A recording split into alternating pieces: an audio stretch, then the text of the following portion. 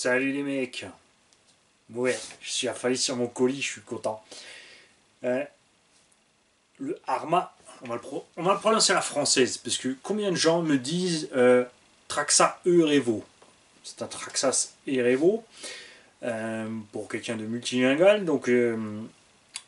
Mais bizarrement, il prononce généralement la moitié d'un truc avec la bonne prononciation, l'autre moitié avec la mauvaise. Donc moi je vais dire c'est un Arma Mojave. le Arma Mojave qui est là grâce à un abonné, évidemment. Et ça me fait très plaisir parce qu'on a fait toute une liste, je, souvenez-vous, je vous ai dit, j'ai fait une liste de plusieurs véhicules, plusieurs milliers d'euros de véhicules euh, que je voulais vous présenter dans euh, cette saison 2018-19. Et euh, rien de bien concluant pour l'instant au niveau des boutiques un à venir et un partenaire à venir, à voir. On va discuter de tout ça ensemble. Mais pour l'instant, grâce aux abonnés, nous avons quand même pu éplucher une partie de ces véhicules. Nous avons le Fox 2 qui était sur cette liste. Nous avons euh, le Creton 4S qui était sur cette liste. Et ici, le Mojave que nous allons découvrir ensemble. Je n'ai pas ouvert le colis, je ne sais pas ce qu'il y a dedans. Ça se trouve, j'ai pas l'engin.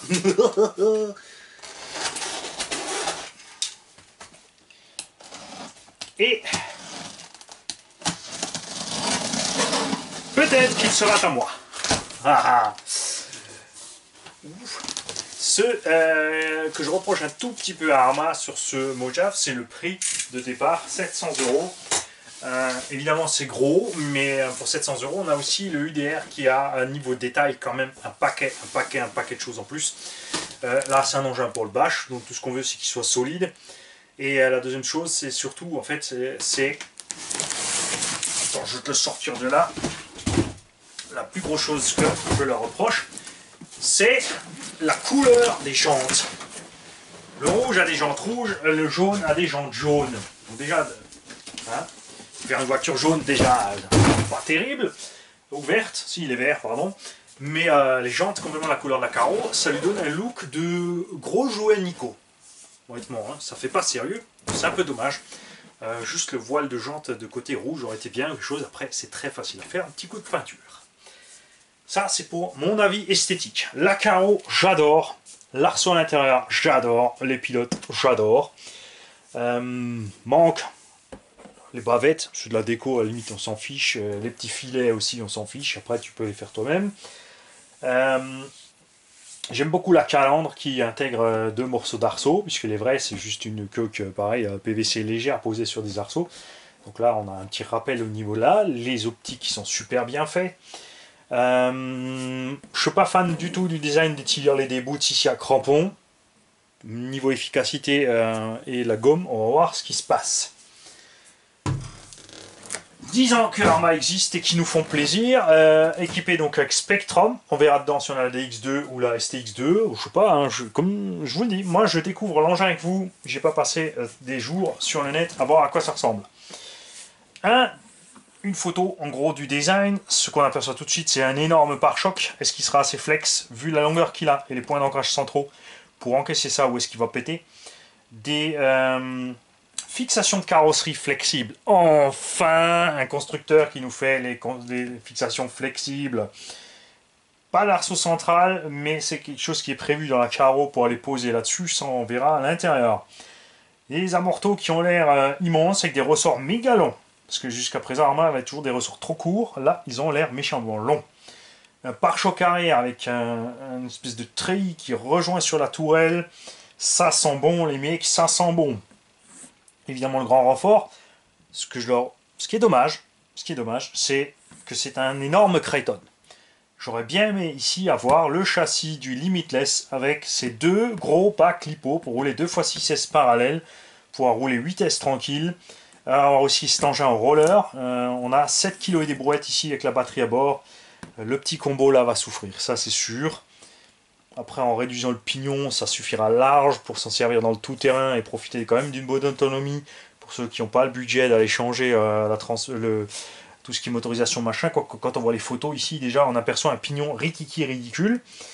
Euh, donc à voir ça. On a la STX2 ici, on a la réponse, on a le nouvel accès rapide au diff central. Et le choix des couleurs. Euh, rouge ou noir ou... Et ça, c'est celui qu'on a reçu. Green and black. Donc on devrait avoir celui-là. Voir ce qu'il y a dedans. Euh, je trouve que c'est encore pire sur le verre, cette histoire de jante. Mais euh, si je le garde pour moi, eh ben, ça va être vite vu. Hein. Va sortir la bobinette de peinture grise de chez... Hein, de chez Tonton Toons et il va peindre la jante gris. Donc, poste de pilotage avec un arceau. Donc le poste de pilotage est monté sur un petit arceau qui est monté dans la carreau. À voir ce qui va se passer dans le temps avec cette histoire. Euh, là, ils te disent qu'on profite d'un gros croisement de pont pour le tout-terrain, ça c'est cool. Les bras supérieurs et inférieurs sont nouveaux. C'est le même design que les autres, mais ils ont une taille spéciale. Et euh, à vue du plastique ring des photos, là, hein, euh, par rapport à la morteau, je pense que ça a été un peu augmenté sur les dimensions. Il y a donc de quoi prendre ces trains, les foutre sur un buggy et te faire un, outcast qui a moins l'air d'un carré roulant et qui est plus solide. Ça, c'est ce qui est bien chez Arma, comme tout est euh, standardisé sur les fixations et les machins, il y a moyen de se mixer son propre véhicule. Hein. Tu peux faire vraiment un tas de trucs. Tu peux aussi euh, mettre ça évidemment sur un Crichton pour te faire un, un aussi un peu moins large ou des jantes à déport mais avec des triangles plus solides à voir quand on l'aura en main. Ce que je suis le plus curieux d'avoir en main, ce sont ces roues. Et allons ouvrir ça. Euh, niveau des prises, on a les nouvelles IC5 qui sont donc compatibles EC5. Là, ils ont assuré, c'est clair. Ça, ça fait plaisir. Et on a oublié à côté du carton. Hein, puis si on me dit toujours, ouais, euh, nous on veut voir les box aussi. L'autre côté du carton, rien de spécial. Cerveau 15 kg. Dans un machin de 7 kg. Bon, le cerveau, lui, c'est sûr, euh, on va le démonter direct, hein, c'est pas possible. Euh, évidemment, le variateur euh, Obi-Wing 150 A qui a fait ses preuves, le moteur aussi. Gaffe, si quelque chose se coince entre le moteur et la couronne, enfin les deux pignons, le moteur, lui, l'axe, il va dire adios. Donc c'est dommage toujours que qu'il ne fasse pas ce petit cache. Et... Ouais, je vais te le sortir, allez, on va pas parler à trois jours autour de, la machine sans vous la montrer. On a ici la radio, la radio, on va la zapper. Honnêtement, euh, STX2, euh, tiens, voilà. Ça, c'est la radio qui est livrée avec. C'est vrai, quand on peut envoyer bah, si, en fait, euh, allez voir euh, la vidéo du Arma 4S, comme ça, ça refait des vues là-bas. La STX2, Spectrum, simple, efficace, bride de puissance, tout ce qu'il faut pour Monsieur Tout le Monde, pour se servir de son véhicule, il n'y a pas besoin de faire plus compliqué. Et... Ah, il est fixé. Et tu voulais le sortir comme ça, tu rêves. Alors attention. Ils ont doublé le fond du carton. Évidemment, hein, avec ça, c'est une autre chose que qu'on néglige, euh, que les constructeurs, souvent ils font des cartons qui sont... Parce qu'il y a beaucoup de postes qui standardisent certains envois sur les dimensions. Donc il y a beaucoup de constructeurs qui font des cartons en ces dimensions-là, le plus léger possible euh, et suffisamment solide quand même. Mais quand le poids du véhicule augmente, eh bien, ça devient vite un problème dimension du carton dépasse les standards, c'est plus cher à envoyer, à expédier et faut faire des cartons plus solides. On va enlever la radio, je sens qu'elle va se casser la figure. C'est donc bien une STX2 et regarde-moi cette caisse. Oh, pinaise Oh, pinaise Je vais t'enlever le petit cellophane, hein, le film fraîcheur pour que le jambon euh, soit encore bon quelques heures après et euh, on va te libérer la caisse. Oh les jolis reels, on va se prendre le temps.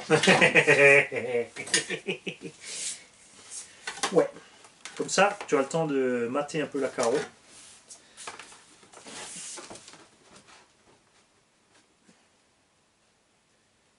Ouais, tu as même un long moment pour mater la carreau. Parce que Mani il n'arrive pas à l'enlever j'en profite discrètement pour pointer les pneus. Voilà. Et là, là, là, là, ça sent le drame. chute du véhicule vers euh, la, caméra, destruction du véhicule et de la caméra.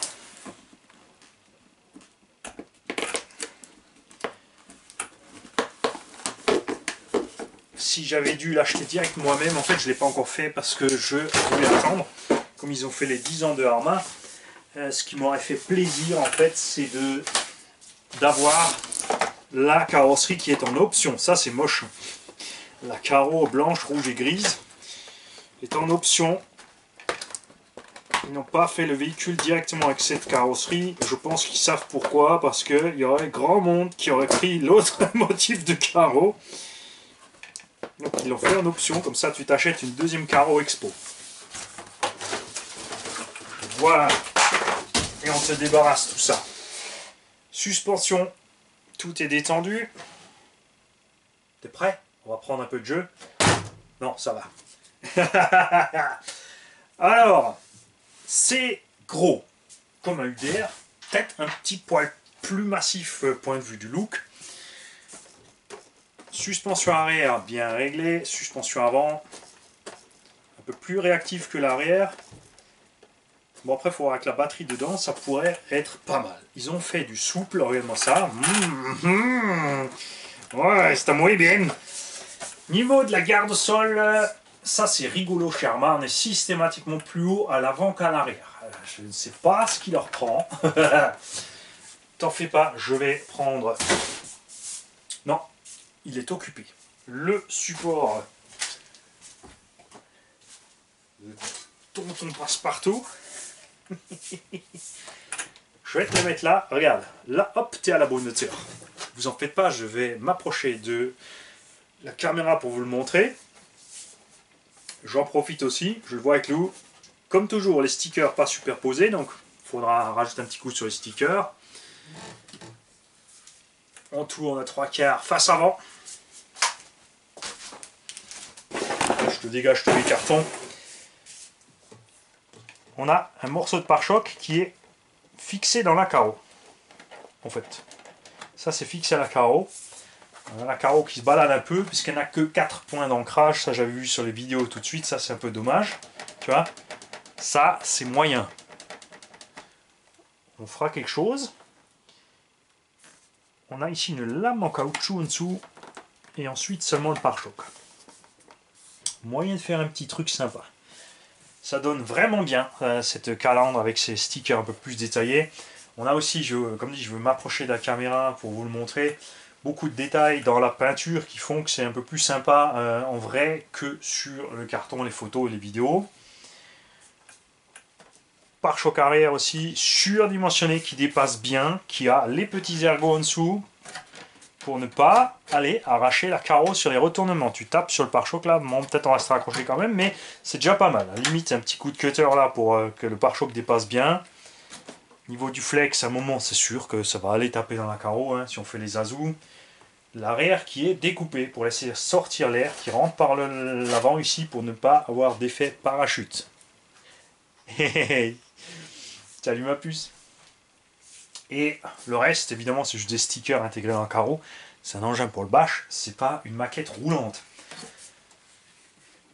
L'arceau, on l'aurait aimé aussi d'autres couleurs. Enfin, jante et arceau d'une autre couleur par rapport à la carreau. On a ici des petites barres de toit aussi. Ça aussi, c'est une idée qu'ils ont piqué à RC Garage, souvenez-vous. Ça fait longtemps que j'ai des vidéos avec des engins sur lesquels j'ai vissé du PVC sur les toits. C'est clair. Là, Maintenant qu'on a fait le tour grosso merdo, on va regarder en dessous. Nous avons donc un gros châssis plat de Creighton. Donc juste une plaque de châssis simple, rallongée. Les triangles ont l'air méchamment plus solides que les 1 8 e On a vraiment... Euh, la vache, il, y a, du plastique en plus, c'est clair. C'est très clair. Des super arceaux latéraux, bien flexibles avec du velcro sur les côtés. Ça aussi, ils n'ont rien inventé. Beaucoup d'entre nous faisaient déjà ça sur les slash. Et sur d'autres engins, en Buggy 1.8 aussi, ça se faisait déjà à l'époque de faire ça. Mais eux, ils l'ont fait de série d'origine, ils l'ont repris. C'est super parce que quand tu mets des fixations sur le côté ici, tu te retrouves avec un gros problème. Quand le véhicule s'écrase et flex, tu déchires tes points de fixation latéraux. Beaucoup ont essayé et euh, beaucoup en sont arrivés à cette conclusion. Eux, au lieu de juste dire bon, on a fait comme les autres, nous ont fait simplement les velcro en plus. Les porte-fusées standard, roulement double Z. Les chapes arrière aussi ont l'air euh, pas nouvelles, mais elles sont assez solides, c'est sûr, pour encaisser ça. Euh, le pare-choc arrière, euh, c'est un montage de petits arceaux ensemble, ça a l'air pas mal du tout. Il n'est pas appuyé sur la tourelle, contrairement à ce que je croyais sur la photo. On est vraiment bien. Alors, je te l'approche, regarde. Bon, ça peut être... C'est toi mon proprio? C'est toi mon proprio? Non, c'est pas toi mon proprio Hein? Il est pas mal. Euh, rigolo aussi, les petites visières des pilotes. Regarde, ils ont mis une petite. Euh, genre, il y a un reflet de soleil dans, le truc des pilotes. Ils ont fait les, euh, petites ceintures 6 points avec le logo Arma. Évidemment, ça, ça évite le fait de ne pas mettre de sponsor officiel de marque de voiture. Évite des coûts supplémentaires pour nous, les pilotes. Et c'est vrai qu'on s'en fiche. Sur l'arceau, il y a écrit Momo ou Sabelt ou je sais pas quelle autre marque. C'est pas important du tout.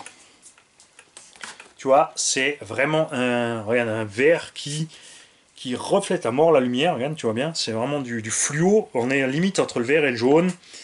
Euh, sur la carreau, on a les petites étoiles pour le sigle Arma. On a du gris un peu aussi dans le noir, c'est sympa. J'aurais bien aimé le vert un peu plus mort, honnêtement.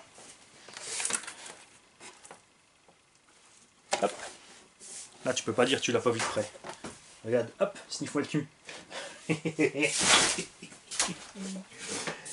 voilà, et maintenant le grand momento. Nous allons éloigner la carreau.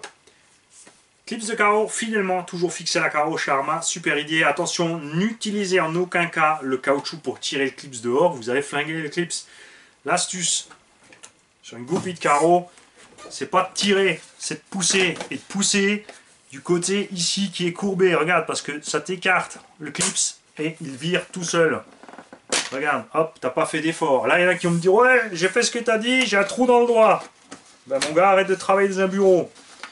tu peux aussi remplacer évidemment les caoutchoucs par autre chose. De plus solide, c'est pas un problème. Donc les quatre petits clips. Euh, j'aurais dû, comme je l'ai dit, à une meilleure fixation à l'avant. Sur les vidéos, on voit clairement vidéo officielle Arma que la carreau, elle sautille au-dessus. La carreau pèse une blinde. On est lourd, mais pas aussi lourd que euh, ce à quoi je m'attendais. Poste de pilotage est bien fait. Les têtes de pilote, c'est full plastique. L'arceau est bien flexible. Et à l'intérieur, donc, petit film de protection sur lequel est collé le velcro, ça c'est bien. Mettez bien ces films de protection en place, sinon la saleté va aller en dessous et il va partir avec le velcro. Là aussi on pose la carreau, on a les petits trucs, on a donc le petit pare-choc avant qui est fixé en carreau avec deux petites rondelles. Il y a de fortes chances quand même que quand tu restes accroché, tu ailles arracher tout ça, surtout qu'on est fixé que là. Donc on va avoir vraiment du mouvement ici, ça c'est pas top. Le poste de pilotage, c'est du Lexan bien costaud, on est fixé direct avec des petites vis M3 dans la carreau avec 4 points de fixation et 2 là-haut. Donc 8 points de fixation à travers la carreau, les vis sont là. M3, rondelle pas très grande, relativement au bord. De fortes chances qu'on aille euh, hein, travailler là-dessus et arracher un peu tout ça. Et le support qui pose au centre, tu vois, la carreau par l'arceau bute ici, là-dessus, qui bute là-dessus. Hein, avec une petite mousse, deux petits rails pour pas glisser droite-gauche, pour pas aller euh, forcément euh, pousser à mort sur un carreau, mais quand même du jeu d'avant en arrière un petit peu, qui est limité aussi quand même par ces petites butées. Je vais m'approcher pour te montrer. Ouais, j'en profite. Beau travail. Ça c'est cool. Faisons la carreau pour rigoler. Alors, carrosserie, avec le petit arceau dedans. 830 grammes. Sans terre, sans flotte. Donc tu arriveras vite à 1 kg quand ça sera fourré de terre. Euh, donc 800 grammes juste pour la carreau. Pare-choc avant. Comme je te l'ai dit, ceci est une lame en caoutchouc, donc tu vas aller frotter là-dessous comme les vrais. Et là, on a une lame plastique bien flexible. Je vous le confirme, c'est flex, ça va bien aller, c'est sous la carreau, ça ne va pas endommager. Évidemment, quand la roue est en haut et tu touches, tu vas aller frotter la roue, ça c'est pas bien grave. Amorto avant, ces amortos, euh, c'est marrant.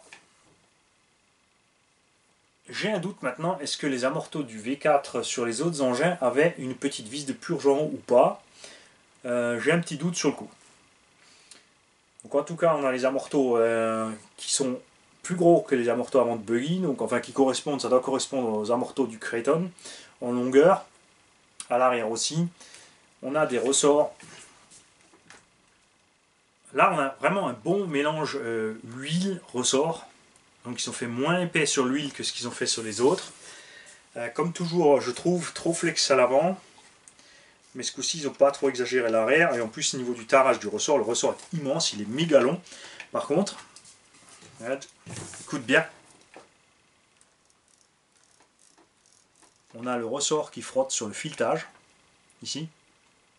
Ça, c'est un peu dommage, on va vite à, mocher la morteau. Après, c'est un engin à utiliser, c'est pas un engin à garder en expo. Support de carreau arrière flexible, monté sur une espèce de grand whoops en 8, qui est soutenu derrière et devant. Donc, on est vraiment méga flex, tu vois. Euh, ça devrait encaisser pas mal avant d'aller plier ici. Et à l'avant, le même système. Donc ce sont deux... Je te dis pas de bêtises, non. Devant, on n'est pas pareil que derrière. Pourquoi on ne sait pas non plus? Le capot est immense. Pourquoi ils sont allés s'amuser à faire un support spécialement euh, différent à l'avant que l'arrière? Ils auraient pu faire les points d'ancrage aussi étroits à l'arrière qu'à l'avant, par exemple et euh, par contre faire une languette plus large aussi devant, ou juste cette partie au moins de la même taille, enfin bref, c'est différent devant que derrière, pour des raisons de montage sur la tourelle de toute évidence, mais il y avait de quoi jouer avec. On a donc deux plots là sur la tourelle, deux plots à l'arrière, la carrosserie qui passe dedans. Ensuite, on a un arceau qui va vers l'arrière pour soutenir la première partie du pare-choc ici, cette petite partie. Ça c'est super parce que ça veut dire qu'on peut euh, prendre juste la partie intérieure du pare-choc pour la monter par exemple sur le buggy, la Outcast, le Crichton, tout ce que tu veux sans devoir mettre le gros pare-choc complet ici à l'arrière qui lui se fixe en plus sur ce pare-choc primaire. On a donc deux parties de pare-choc.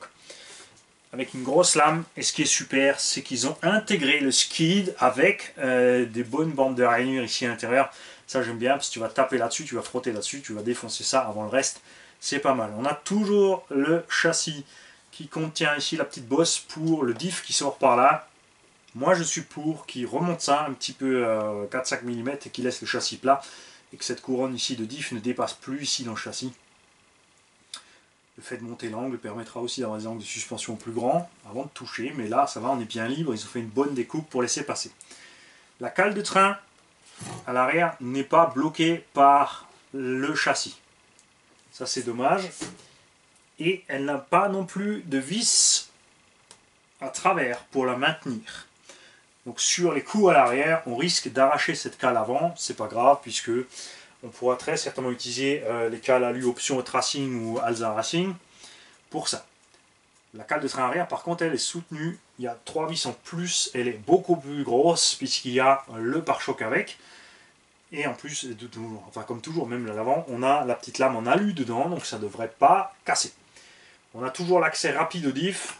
T'enlèves ton pare-choc, t'enlèves 4 vis, t'as ton diff en main sans toucher le train. C'est pas génial.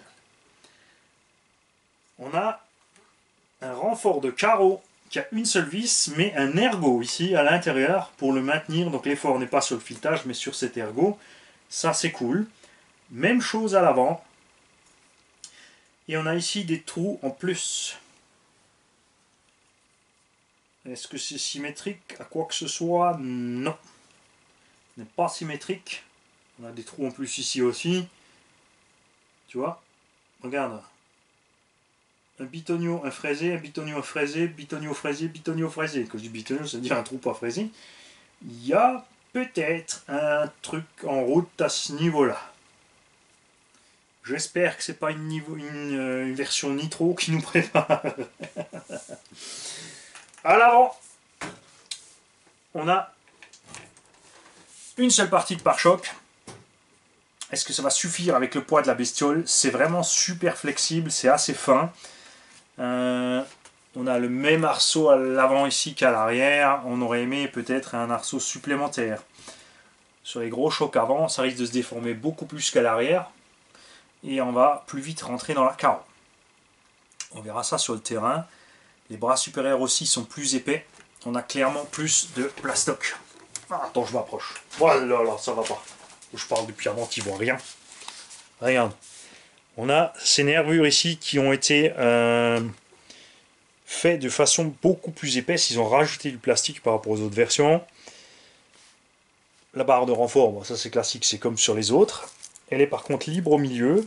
On n'a pas de petit maintien ici pour la bloquer ni quoi que ce soit au niveau du diff central. Elle relie directement.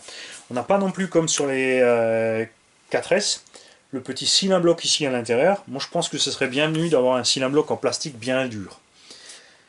Ce qu'ils ont gardé, regarde, c'est qu'ils sont partis ici, tu as le support qui est monté avec le support d'aileron sur les engins qui ont aileron.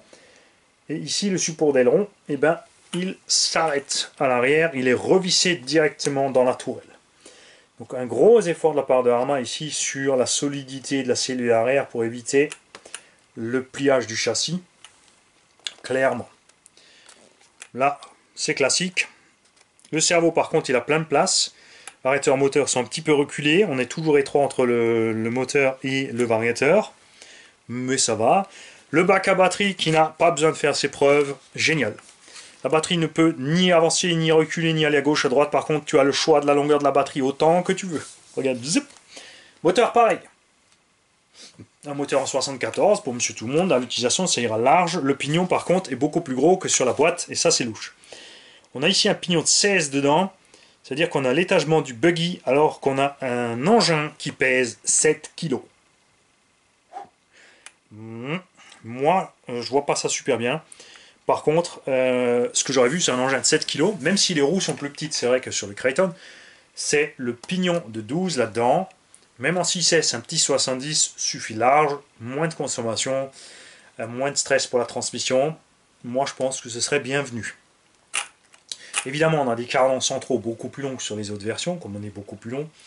On a toujours les mêmes barres stables, elles sont même pas plus épaisses ni rien, alors que le poids du véhicule est plus grand, suffira large. Donc IC5, la loupe est fournie. Pas de problème à ce niveau-là. Et nous allons voir maintenant au niveau des huiles de diff, quel choix ont-ils fait? Souple, très souple, et on sent les dents comme sur le Arma Limitless et sur le Arma Notorious. Ça, j'aime pas du tout. Ça part en roulant, on l'a vu ensemble. À l'arrière, hyper détendu. Alors l'arrière hyper détendu, à l'avant un tout petit peu moins. Mais comme j'ai constaté sur le Notorious, euh, pas le Notorious, sur le Arma Infraction, excusez-moi, c'est qu'une fois qu'on a roulé, tout est aussi libre, l'avant et l'arrière. Et au centre, bouge pas, au centre c'est un peu plus épais, donc ça pourrait être pas mal. Je vais essayer de te bloquer là. Ouais, au centre on est plus épais, clairement. C'est mieux. Je pense que le mix devrait pas être trop mal pour ce type d'engin, pour le type de terrain sur lequel il va être utilisé. Enfin, pour ce quoi il est prévu. Au niveau euh, des tirants ici, ils ont changé un petit peu par rapport à ce que j'ai souvenir d'avoir eu en main chez Arma. Les rotules bien épaisses, euh, toujours avec le même petit jeu Arma. Hein, on a toujours euh, forcément avec le train à rotule euh, des jeux. Est-ce qu'on a suffisamment de flex? Ouais, on est bien flexible ici, ça ne va pas crasser trop vite. Et là maintenant, hmm. le moment tant entendu depuis le début de la vidéo, le poète poète. Alors, les carcasses de ces pneus ont l'air très dures. Euh, la mousse à l'intérieur a l'air inexistante. Tu vois? C'est plus du pneu de MT que du pneu de SC. Hein. Là, on n'est pas du tout sur un, mélange de gomme euh, short curse. La carcasse paraît dure, les crampons sont durs, c'est clair. Manque de mousse, et regarde, regarde à quelle vitesse ça s'écrase, regarde. Ça, par contre, honnêtement, je vois ça mal. Dans les virages, ça risque d'être chaud. Après, le fait qu'il se déforme comme ça aussi, euh, ouais, il va s'écraser sur lui-même. Est-ce que ça va bien faire glisser le véhicule? On verra ça à l'essai. Puisqu'on a le droit de l'essayer, euh, qu'on le garde ou non. ça, c'est cool. Hein. Euh, donc, au milieu, ils ont mis cette petite pièce Hyperflex. Ce qui va sous la carreau, comme tu peux le constater. C'est Megaflex. Tu vois, regarde. Ça se déforme vraiment à mort. Donc, sur les gros chocs, on va vraiment avoir un amorti entre l'arceau ici qui va pas trop se comprimer pour pas trop abîmer la carreau et ça et les plots de carreau qui eux vont faire pareil. Ça c'est une super idée. Je pense que là la carreau va tenir un petit moment. Ça devrait être pas mal. Et la réponse pour les trous est simple. Euh, Mani l'a sous les yeux depuis avant. C'est qu'on peut décaler le bac lipo ça correspond deux tétons, deux vis, deux tétons, deux vis on peut décaler le bac lipo. Wow Ah oui, mais ils sont pas les mollo, les mecs. Hein. Le bac lipo peut être décalé directement de 3-4 cm en arrière. Donc on peut foutre le poids de la lipo. Parce que là, la lipo est en avant par rapport à moteur variateur. On peut reculer le bac lipo au même endroit ici que variateur moteur. Donc on aura moins de poids à l'avant, donc moins une conduite de short course, plus une conduite de, tout terrain, un, engin plus vif en fait, si tu recules ton poids, l'avant va décoller plus vite, ça sera plus simple sur les bosses et les sauts, et euh, surtout on va pas piquer du nez sans arrêt. Par contre si tu fais ça, tu as l'avant qui va mouliner plus, donc faut avoir vraiment le bon mix sur les huiles. Moi je suis... Euh, l'avantage quand tu mets le poids devant, c'est que ton train arrière lui va glisser, va suivre, conduite un peu plus facile, pardonnera plus, par contre je suis tenté de reculer ça et de rouler direct pour le premier essai avec euh, une conduite un peu plus vive que ça. Hein ça me paraît euh, une bonne idée, franchement. Le cerveau 15 kg, lui, euh, non, non, dans 7 kg d'engin.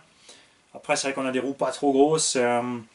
Si on recule la bac à batterie, on n'aura pas trop d'appui à l'avant, sauf au freinage, évidemment. Dynamiquement, les forces vont se rabattre sur lui quand même. Donc je sais pas trop.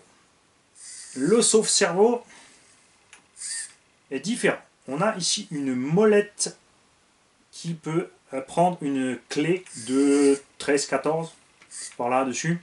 On n'a plus une molette euh, juste crantée pour le faire avec les mains. Par contre, tu ne peux pas passer ta clé. Tu es obligé de démonter le côté caisse. Pour arriver à ça, il faut enlever tout le côté.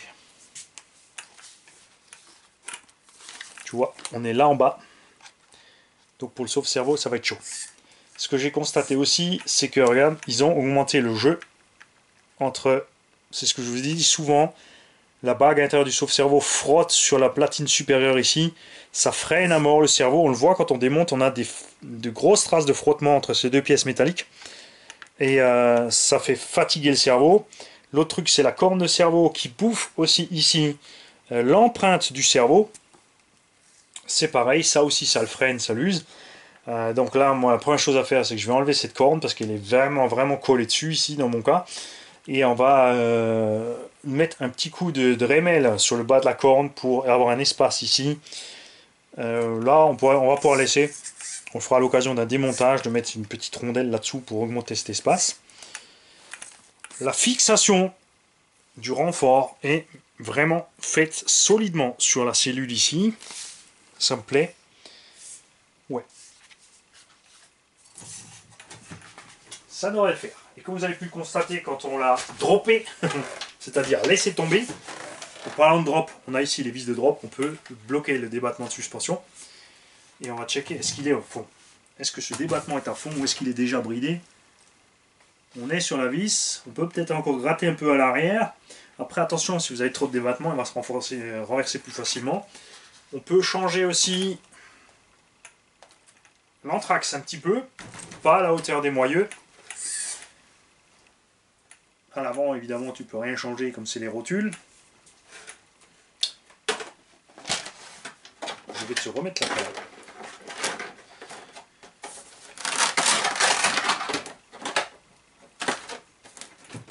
Alors, on a noté un gros effort de la part de Arma sur... euh, il y a une évolution un peu ces derniers temps, à partir de, je dirais, V3, on a pu constater sur les matériaux utilisés dans les diffs, on a quand même une usure bien moins prononcée qu'au départ sur les V1.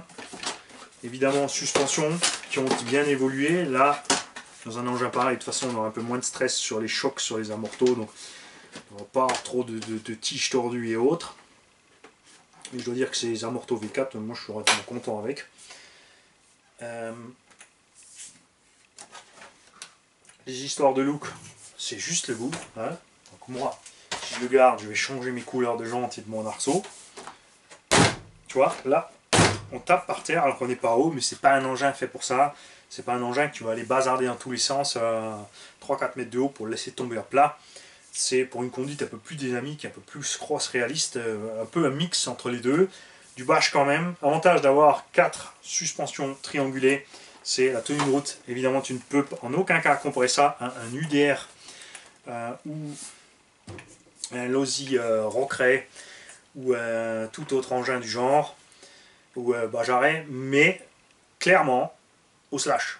C'est un gros slash 4x4. On a le feeling de la suspension du slash. On a un look d'enfer. Honnêtement, j'aime beaucoup ce, look. Euh, je trouve que les ailes ont été faites un peu hautes.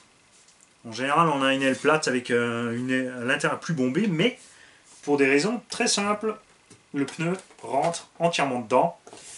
Regarde d'ailleurs, quand on est posé, on a du débattement négatif, c'est-à-dire, regarde, la roue monte plus haut que le châssis. Le châssis est par terre là, sur le skid, regarde, je peux décoller la roue, ça aide dans le gros tout-terrain, c'est clair. Et, et ouais, bravo, mais les mecs, si vous me dites rien, ah, je peux pas le deviner, regarde. regarde, Euh, là mon châssis est posé par terre, hein, j'appuie à fond dessus, regarde. La roue rentre encore dedans. C'est une Citroën DS. En plus, elle est verte comme le LHM. Regarde-moi ça. Mais, évidemment, le pneu, à ce moment-là, va frotter la carreau. À l'avant, c'est pire. Il frotte déjà directement. On frotte quand on rentre. Et quand on tourne, on reste accroché sur la carrosserie. Donc là, ça, c'est un truc au début, tu vas pouvoir tout de suite euh, laisser tomber le tires ici. Tu laisseras juste le déboots parce que euh, va falloir couper parce que ça ça va s'accrocher dedans ça va déchirer la carreau c'est des détails c'est pas grave c'est un engin pour le bâche ah non moi je c'est là qu'on voit que Magny est content quand Magny il arrête pas de faire ça avec une caisse c'est qu'il est content il joue pas avec les pneus parce que les pneus je suis pas convaincu les pneus à ce sujet là on a ici une taille de pneus évidemment de gros méchants shorkers et on peut pas mettre tout ce qu'on veut. Nous avons ici des pneus de Scorpion BXXL. Légèrement plus grands. Par contre, taille basse, niveau motricité, tenue dans le temps, ces pneus n'ont rien à prouver, ils sont efficaces. Ça déjà, ça irait bien dessus. On a par contre, attention du déport. Ici, on n'a absolument pas de déport. Cette roue sera donc à l'extérieur tu vois, elle rentrera plus dans la carreau, elle va clairement te défoncer la carreau. À voir si on peut, bien sûr, tu peux la mettre avec euh, des bump stops, c'est-à-dire des butées sur les tiges d'un morteau pour pas descendre trop loin. Et de ce même fabricant, là, hop, on a ça. BF Goodrich. Mmh, il y a bon. Aussi avec du déport. Aussi, par contre, plus fin. Donc plus dans le look Shorkers un peu plus gros, tu vois, mais euh, je pense que hum, cela lui siera à merveille. Et là, je recommence. Je recule. Je rappelle, je ne suis pas un pro de la vidéo. Euh, moi, je m'éclate avec mes RC et la vidéo, c'est juste pour le plaisir de vous le montrer. Regarde, hop. Ça va, je pense, lui aller très bien. Ça sera aussi un peu plus large. Par contre, comme on a les bords un peu plus bombés, ça va aller. Ce pneu est relativement dur aussi. On a une mousse un peu... Ouais, bien mieux quand même que le Arma. Après, c'est peut-être aussi juste parce que c'est taille basse à l'intérieur. Donc ceci, va faire la tenue de route. Ceci va faire l'amorti sur les virages. Le pneu pas trop d'accroche glissera bien. Même probable que l'engin soit plus rigolo à conduire avec ça qu'avec les D-Boots d'origine. Mais on fera des essais. On fera des essais, on va rouler. J'emmènerai toutes ces roues sur le terrain avec moi et on fera des essais pour voir ce qu'il en est. Parce que ça, ça m'intrigue. C'est rien que pour ça que j'avais chopé ces roues. J'avais déjà prévu d'en acheter un. Ensuite, pour ceux qui veulent, tu peux aussi monter des roues de truggy. Aussi à peine plus gros. Par contre, attention, largeur ballonnage. Hein. Euh, ça sera à l'intérieur. Il faut voir si ça frotte pas à l'intérieur au niveau de... Euh, quand on va braquer à fond à droite à gauche. Et attention, ce genre de pneu ballonne un peu plus. Pour ceux qui roulent en 6S, ça risque d'être dangereux pour la carreau. Et est-ce que j'ai autre chose ici qu'on pourrait mettre? Évidemment, on peut monter des roues de l'Uzi R8 montant les hexagones de 20. Tu vois Ça, c'est une dédicace à Tonton Arnaud. Hein Lui, il va nous le mettre comme ça, il va le descendre, il va aller drifter avec. Euh, ouais, encore faut-il en trouver. Il coûte une fortune ces pneus alors qu'ils sont merdiques, mais pour le drift, ça peut le faire. Ceci est un Arma. Standard, vous pouvez donc à tout moment monter hein, les roues de 1 cinquième. Genre ce qu'on a sur la Clio. Bouge pas. Je vais t'en prendre de l'autre côté. Voilà. Ça aussi, évidemment, j'y ai pensé tout de suite. Regarde. Du gros méchant pneu de 1 cinquième piste. Euh, ils sont en train de nous faire un profil rallye aussi avec ça, peut-être, éventuellement, si on a la chance. Ça, c'est un pneu pluie. On est un peu plus petit, regarde, on est méchamment large.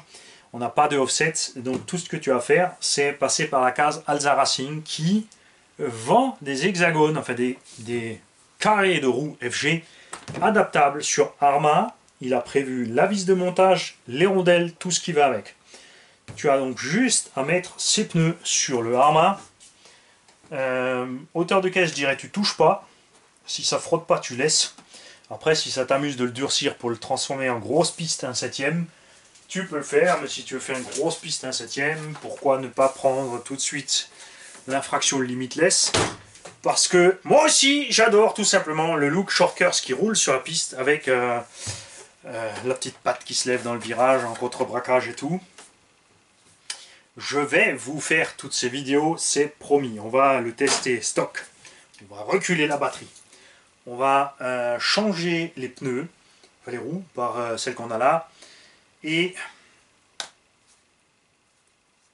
les Exalza sont déjà en approche. Euh, je vais les commander dès que la vidéo est finie, donc quand toi tu la verras, non, ils seront déjà là. On pourra essayer donc ça. J'ai encore des Exalza que j'avais bidouillé moi-même, mais Alza les fait bien, les fait propre. Autant les prendre chez lui. Et on pourra essayer ce type de gomme. Ça, c'est très souple, c'est un peu juste pour les, les grosses 1.8 avec 8 à 12S, euh, les 1.5.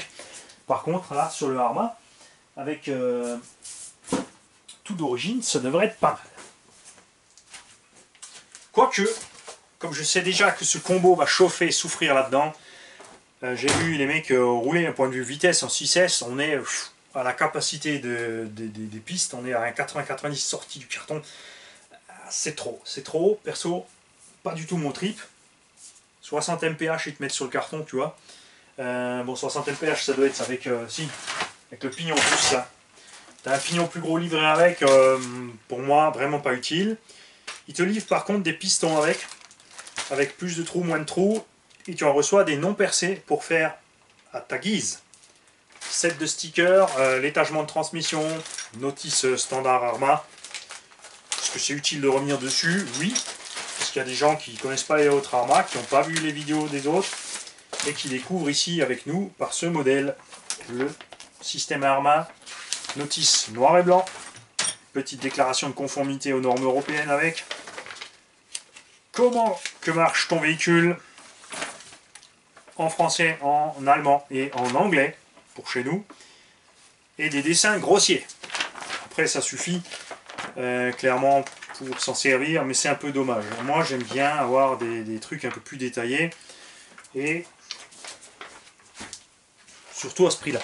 à 700 euros, enfin entre 700 et 850, j'ai vu des prix affolants. comme ils n'arrivent pas à en fournir assez, il y en a qui grimpent les prix pour ceux qui veulent les avoir d'office. Tu vois, il t'explique comment enlever rapidement le pare-choc avant pour atteindre le diff avant ou le diff arrière. Enfin, en gros, dans les grandes lignes, le moyen d'entretenir rapidement le véhicule sans le démonter totalement. Tu n'as pas de notice complète de démontage, remontage du véhicule, mais tu as les bases pour t'en servir proprement. Ce qui est sympa aussi, c'est donc le support moteur sur slider, c'est-à-dire que tu glisses tout le moteur dehors avec son support. Et puis obligé de t'amuser comme sur les V1, V2, avec ta clé Allen euh, qui n'est pas tout à fait droit dans, dans le trou de vis, pour réussir à séparer le moteur ou devoir enlever le vario pour y accéder.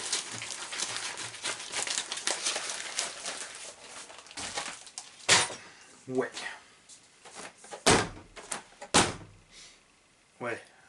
Je te le garde, c'est sûr. Rien qu'à cause de ça, euh, c'est même pas la peine d'attendre les essais. Ça va être génial. Euh, le plus moche chez Arma, c'est ça. Cette transmission, euh, cette transmission métallique bruyante, c'est vraiment le plus désagréable chez Arma. après, c'est pas un gros problème.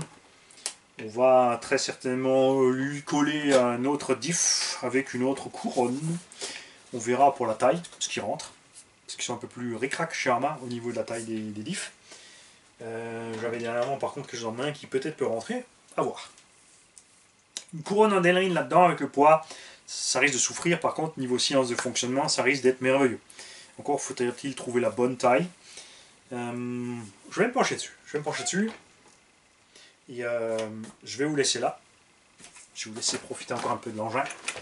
Avant qu'un abonné, salut à toi, ne me dise Ouais, ça sert à quoi un mec qui parle de sa voiture On voit que le mec. Euh, non, tu vois, regarde. On voit pas que moi, on voit la voiture. Et de toute façon, tu avais bien raison de te plaindre. Sinon, j'aurais pas pu t'aiguiller sur les autres vidéos. Et hop là. Et je vais passer euh, tout à l'heure sur la vidéo évidemment en anglais et en allemand. Et on se reverra ensuite pour l'essai qui, lui, est toujours en français, dans la plus grande partie des cas.